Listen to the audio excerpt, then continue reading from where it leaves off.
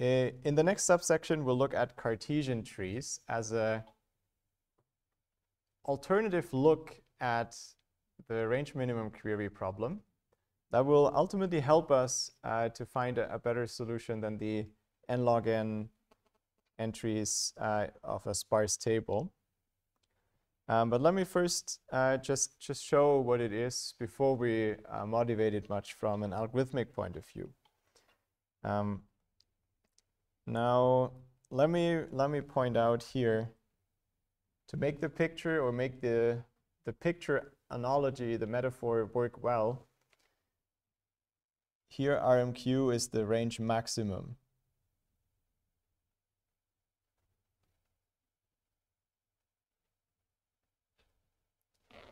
You could have done it with minimum and then uh, draw the picture the other way around.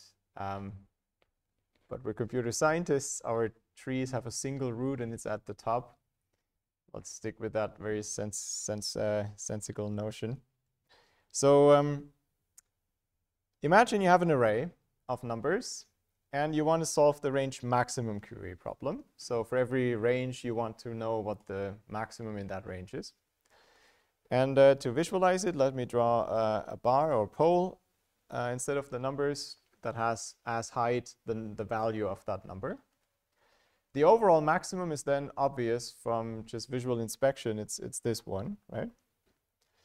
But if you want uh, a range max, you can do the same. You, you constrain the array or the picture to a certain, certain vertical slab. And then within that, it's the, the pole that sticks up the most. So as a human, it's obvious in the small example what the maximum would be and where it is. Okay, so as before, that's just the definition. And I'll point out again, for, for this picture, I'll flip the notion of min and max just to make it nicer to draw. Okay, here it is. For uh, the overall task we'll pre-process the, the answer to um, the, the array to get a faster answer. Now the Cartesian tree um, results as follows. You uh, have a root node at the overall maximum. That's this position in, in, in our example. And then that basically splits the problem into two halves, maybe everything to the left and everything to the right.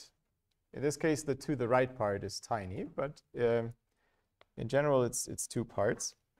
And then you compute recursively the same Cartesian tree on these two subproblems and make them, so there's some subproblem tree coming here. And, okay, let's make this a bit nicer. Uh, there's some subproblem subtree coming from this, coming from this. And you append those as the left and right child of this root node. Okay, again in nice, if I take everything to the left of that node, the next largest is this element. So that becomes the root of another Cartesian tree, a subtree, and it, it becomes the left child of the overall maximum. And similar on the right, well, there's just a single element, so it's uh, just a single node, but it becomes the right child of the root. Now we further split up things. So there's the range between those two, and there's the range left of this guy. So in general, we will always have ranges that are from some uh, previous node to some other, so between two poles. And on those we recurse. So here again, if I let this largest element between those two is this, so that becomes the next node. Largest element in this range is that one, so that becomes the next node. One more time. Largest element to the left of that node is that. Largest element between those two is this one. Between those two is this one. I guess you, you get the picture now. So you recursively refine the range, and always the maximum becomes the next node that you connect to what you've already constructed. Okay, awkward definition. Why do we do this? Okay, uh, that's just taken an array of numbers and define a binary tree somehow. But why is that any good? The reason is that there's a connection between this and finding the range maximum. And so that connection is, if I have a range, I can find the nodes in the tree that correspond to the leftmost and rightmost entry in that range. Um, I didn't comment on this earlier. In this, in this tree, I've, I've labeled every node with its in-order rank or with its, its position from left to right. Uh, so have 0, 1, 2, 3, 4, 5, 6, 7. So I'm just sliding a line left to right over this, over this picture and assigning consecutive numbers. This happens to be the same as the index of the array element that the pole represents. So if I want the range from 6 to 14, I just find the nodes labeled 6 and 14 in my picture. Now, the range maximum always is the lowest common ancestor of those two nodes in the tree. And why is that? Well, uh, from each of these nodes, we have to have a path to the overall maximum. If the overall maximum is within that range, then it surely is the maximum in the range. The other option is it's outside of the range. But then, because this is a binary tree, there must be some node where we split the path where one part of the path continues to go to 6 and the other continues to go to 14. So there must be some node in the range between those two where the paths split. And that node, when that was generated, it was to the left or to the right of the overall root, or recursively, was between two large things that are outside of the range. Uh, and then this was the first element in the range that was uh, assigned, assigned a node. Or the other, the other way to say it, uh, the paths of these two nodes they split at the earliest thing that is, well, they split at the, the highest pole that's between those two because afterwards they will never be in the same subproblem. So if you have, if you have this range uh, at any point in time contained in a larger range, for example, this one, then either 6 and 14 stay on the same side of the large pole or they're separated now and for good. So that connection uh, is acute is a acute observation, um, and it goes a little further. So uh, you don't actually need the poles anymore. All you need is the mapping from the array indices to these to these nodes. So you can find what are the nodes that correspond to the leftmost, rightmost position. And then you can find the lowest common ancestor from those. And that even works if you rearrange how, well, the y coordinate of the nodes. In this case, it, it was still reflecting the values in the array. But it, all we're doing is looking at the in-order index of a node and finding lowest common ancestors. None of that uses the y coordinate. So it also works if you just draw the tree in a, in a standard way here, like a, the y coordinate is just the depth in the tree. So all that's, all that's needed to answer range minimum queries is this binary tree. We don't need any values in the array.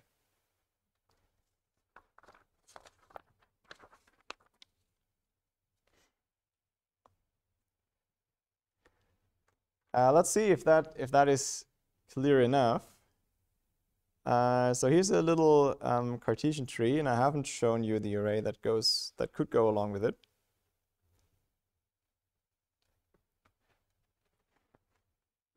And are we one based or zero based? It's always zero based, right?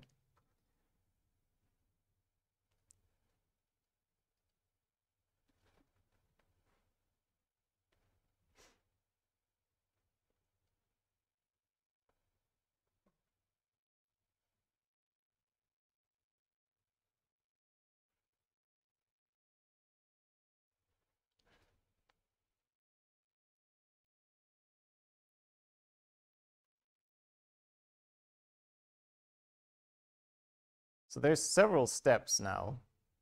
Um, maybe one good in-between thing would be, how do I get these numbers? Uh, here I still have them. How do I get, if I just have the tree as the usual pointer structure and so on, how do I get these numbers inside the nodes? I can do that with an in-order traversal, which looks as follows. I start at the root, and then um, at each node, I first process the left subtree, then I assign the value of the root of the current node, and then I process, uh, the other way around, process the right subtree. First left, then myself, then right. That's in order traversal.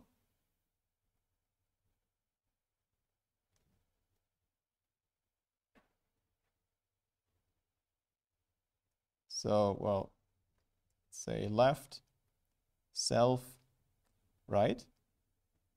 And what does self mean? Self means I'm assigning myself the next free number. Let's do this um, on here. So I walk from the root. I first go left. Okay.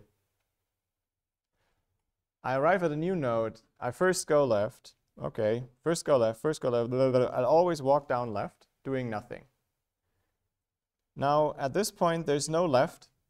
So I come back from the empty left, and now I assign the first number to this node. Okay? So this gets the 0 because I'm in the self part of treating this node. Then I go to the right subtree, that's empty too, so nothing happens. And I, then I return, and now I walk back up. Now I've done, for that node, I've done the entire left subtree. So now is this guy's turn, and he gets the number 1. I'm done with the self part of that node, so I go down to the right subtree. That again, I go to the left, empty, come back. Now I assign the next free number, which is 2. And so on and so forth. So here, right is again empty, so I come back. Right is done, so I'm finished here. Now I come back for this node, all the left subtree has been dealt with. So now it's the self part. So I'm assigning this node the next free number, 3. Now I go to the right subtree, but that's empty, so I come back immediately, go back up. I've done with the whole left subtree of that node. So guess what's coming next? It gets its number, which is 4.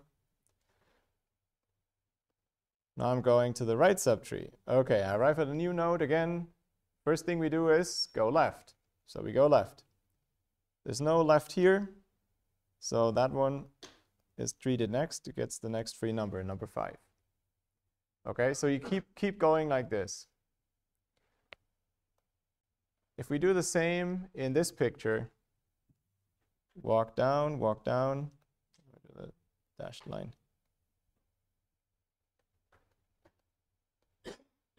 Walk down, walk down, walk down until you can no longer. Then you return from the left. So this guy gets the first index 1, a 0. Nothing in the right, so we come, come back up to this. Uh, let me finish drawing this path around the tree and then we'll just follow it. So we're, we're at this point. We're dealt with the done with the left subtree, so this gets assigned a number. We go to the right subtree. There's nothing on the left. Now it's the self part, 2. Nothing on the right, so we come back up. This has all the left dealt with, so the next is assigned a 3. Then we go to the right. And if you keep assigning the indices with this, you get these labels for the nodes. So that also means you can project this down to the array entries. So there's 0, 1, 2, 3, 4, 5, 6, 7. Okay. What do we get for RMQ15 in this case?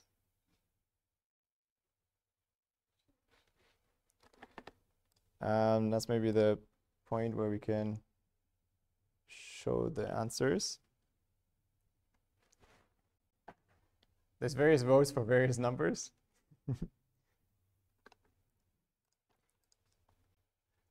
And first step we have to do is we find 1 and 5 in the array. That's the range that we're looking at. The trouble is we don't have the numbers in the array, so we cannot just use that information. Instead, we have to use the tree. So we go to the nodes that have 1 and 5. And we find the lowest common ancestor, which is 3. That's where they split. And so 3 is the answer, because at position 3, there must have been the maximum here. Okay? So this is the maximum if that's the Cartesian tree, even without knowing what the real numbers are. And here's one concrete, I mean, I generated the example using, using these numbers. Uh, there's others that would have given the same tree. If you look at the, the range 1, 5, then 7 is the largest here. And you can double check that you get the tree if you apply the construction from before with the poles and letting lines sink down. So there's that in nice again.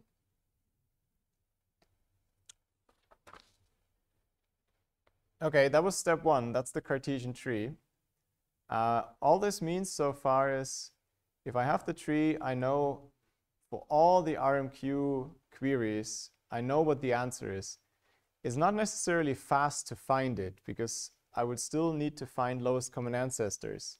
And now we're running a little bit in circles. In unit 8, I told you, ah, you can, you can do uh, longest common extensions by doing lowest common ancestors in the suffix tree.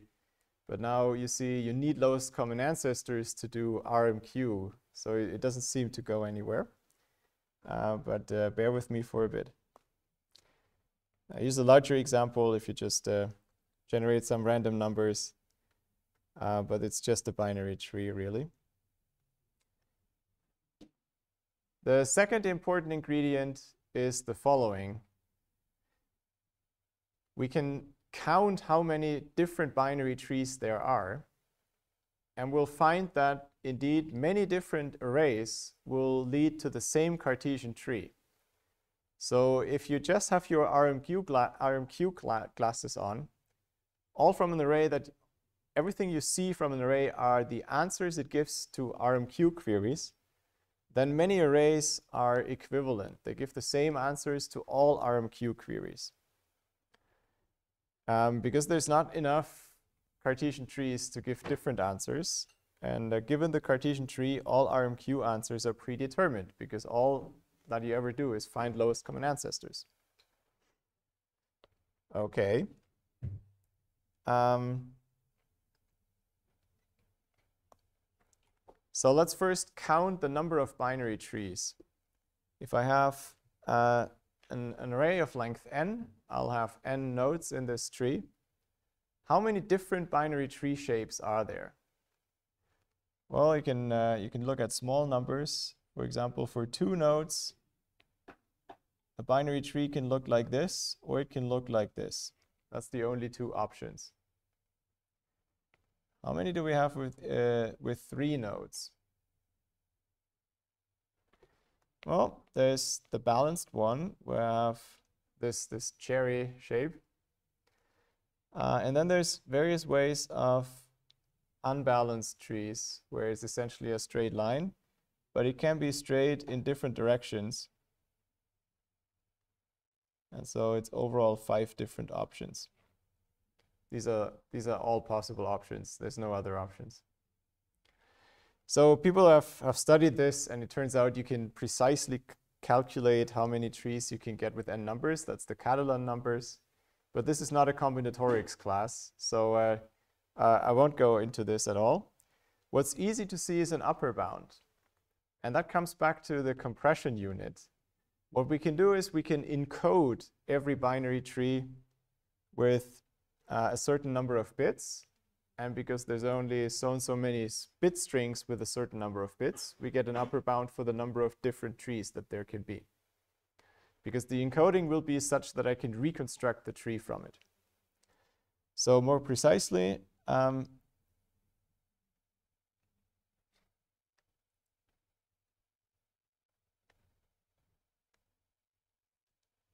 we can encode a tree with two n bits and then 2 to the 2n is the number of different bit strings of length 2n.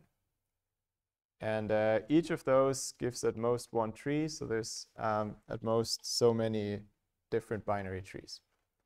And what does the encoding look like? It's actually very simple. Uh, you do a traversal of your tree, similar as before. So we do this kind of walk around the tree. And uh, whenever I visit a node first, I store whether it has a left and whether it has a right child with two bits. Right, so I'm, I'm using two bits per node. So for each node, I store whether it has um, a left and a right child, but just using one bit each. So this node would be, uh, and I'm following this, so this node would be, be 1, 1, because it has both a left and a right child. This next node would be another 1, 1, because it has both children, and this one 2. But this one would be a 0, 0, because it's a leaf. And this one's also a 0, 0. Uh, and then this one is more interesting. It has no left child, so 0, but a right child, 0, 1. That's a 0, 0 again, and another 0, 0. And I would encode these in the order I find them following the orange line. So it would be 1, 1, 1, 1, 1, 1, 0, 0, 0, 0, 0, 1, 0, 0, 0, 0. The question now becomes, how can I decode the tree again? That sounds, sounds tricky, but it's, it's always possible. And uh, uh, stay where you are. To, uh, to convince you, let me go to a new page and you can rely on my poor memory that I can't memorize what the tree looks like and I won't cheat. so you start at the beginning, you have two bits and they say there's a root and it has both children because it's 1, 1. That means the orange line continues to the left. And there's another node, okay, also has both children. So the orange line continues further here. Again, we have 1, 1, so I'm, I'm here now. Now I'm seeing two zeros. So the next thing I'm doing has no, no children. It's a leaf. But then the orange line knows this is the next one we decode.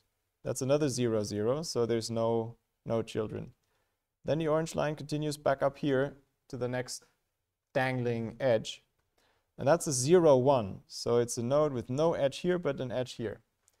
That means orange line continues down here. And the left two last two things is, again, append two more leaves. Okay? And so if you check, that's, that's essentially the same tree. It's just drawn slightly, uh, slightly deformed, but the same parent-child relations. So we can encode a binary tree with two n bits. Amazing. But how does that help us?